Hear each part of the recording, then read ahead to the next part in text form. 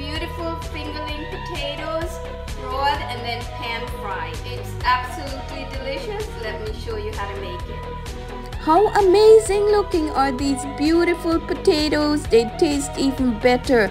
Few simple ingredients like fresh chopped rosemary, lots of smashed garlic works magic. This two-step method of first boiling the potatoes until fork tender and then slicing them in half guarantees the right tenderness inside and a nice crust on the outside. Pan fry them in your favorite fat. I love ghee. Don't forget to add some extra salt and pepper and season them with the garlic and rosemary and they're ready. It's that easy. It's the perfect side dish.